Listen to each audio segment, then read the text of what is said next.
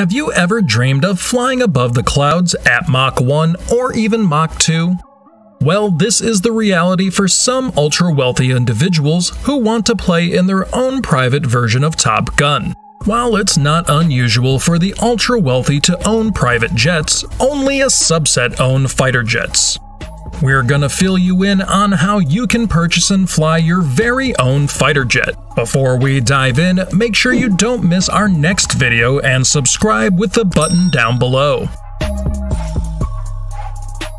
Where to purchase a fighter jet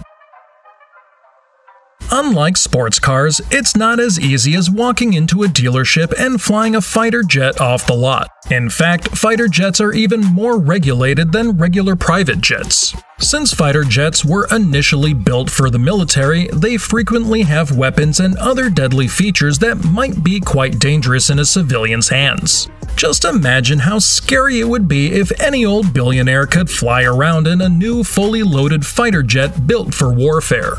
This is why there are strict regulations on the type of planes available for purchase. While specific requirements vary by country, all decommissioned fighter jets available to civilians have gone through a demilitarization process. Demilitarization removes all the parts included in the fighter plane that has its utility in warfare to ensure national safety and security. The US has one of the strictest demilitarization processes, which basically renders most planes unfit for flight. Therefore, if you want to purchase a fighter jet that has more practicality than just sitting on display, you'll most likely need to import it from another country with more lenient demilitarization policies, like the UK. It's not uncommon for countries to sell their retired military craft to other countries for extra cash flow and relationship building. Due to this, it is usually possible to purchase a functional aircraft even if your country's demilitarization policies are more strict. For example, nearly all privately owned fighter jets in the US were imported from other countries. Qualifications to fly a fighter jet Unlike regular civilian aircraft, the requirements to purchase a fighter jet are much more strenuous and require something money can't buy time.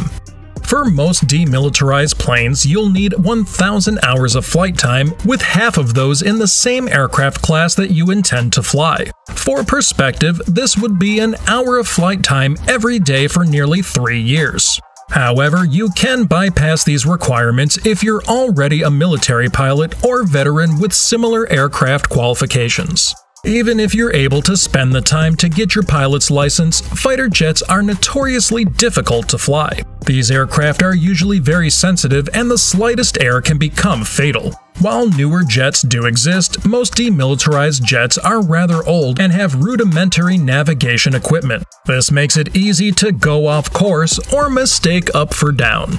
Additionally, in order to make maneuvers similar to Tom Cruise in Top Gun or the US Blue Angels, you'll need to practice making emergency maneuvers and withstanding G-force, which can quickly make you pass out without proper training.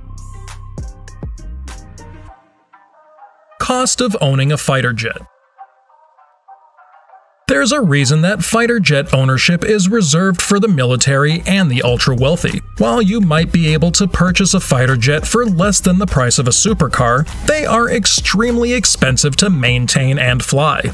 The purchase price for a demilitarized jet ranges from $50,000 to the multi millions. Most fighter planes owned by civilians cost a few hundred thousand dollars. However, you'll definitely have many more costs before you can even sit in the plane, let alone fly. Since most planes are imported, you'll likely pay for shipping. Sorry, these are not available on Amazon Prime. And it's not as simple as flying the plane to its destination. The aircraft will most likely need to be disassembled for shipping and then reassembled upon arrival. Add on some additional import taxes and fees, and you're looking at at least a few hundred grand.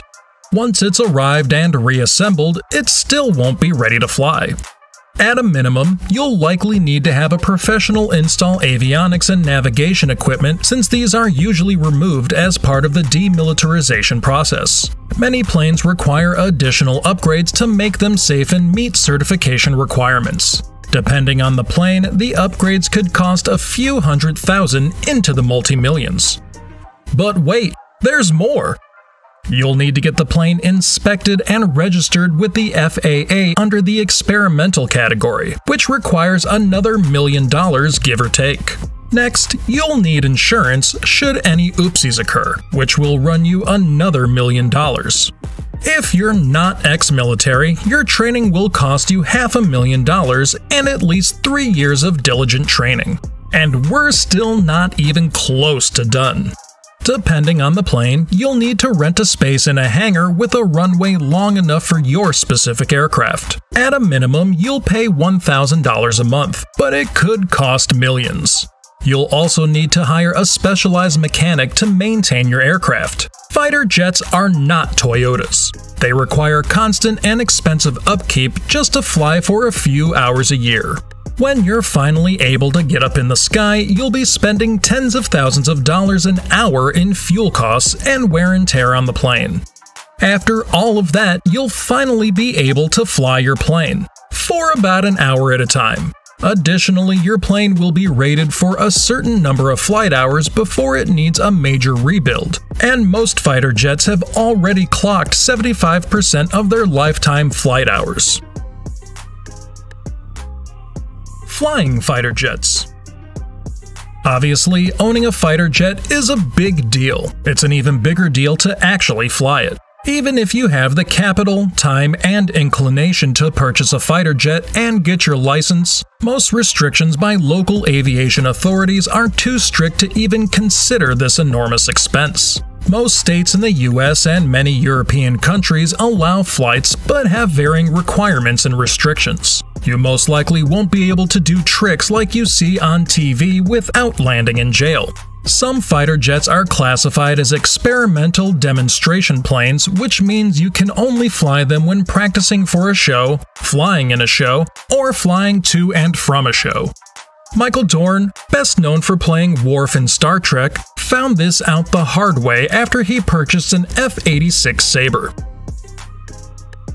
High end fighter jets for sale.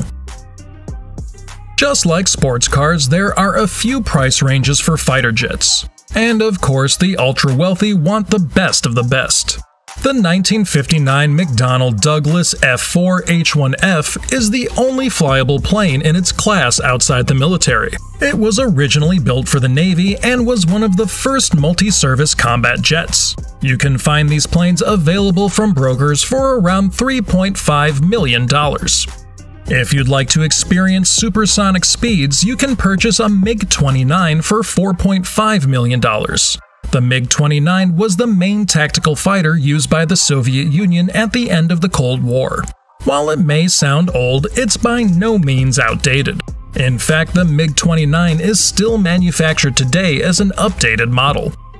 Another Russian build, the Sukhoi Su-30, descends from a line of fighter planes originally designed in the Soviet era. Since then, the planes have been redesigned and modernized and are still in commission today. These planes can fly at a speed of 1,350 kilometers per hour and boast a climbing rate of 230 meters per second. At a purchase price of $40 million with a $50,000 per hour fuel cost, these fighters are reserved for the wealthiest individuals. How to rent a jet if owning a fighter jet sounds like way too much work to you, but you still want to feel those G forces, it's much more economical to book a flight with an experienced pilot. In the US, you can ride along in an L 39 in Florida or California. If you'd like to journey to the edge of space or brave the only civilian supersonic jet experience, you can commandeer a MiG 29 in Russia. A company in Canada also offers 30 to 45 minute rides in a T 33 T Bird fighter jet where you can explore Waterloo near the city of Toronto. However, just because it's cheaper to rent rather than buy a fighter jet, it's still not inexpensive. Flights range from a few thousand dollars to tens of thousands. If you had the funds, which fighter jet would you own and where would you take it? Tell us in the comments below. If you like this video, make sure to hit the like button and check out our next video. Thank you for watching and see you in our next video.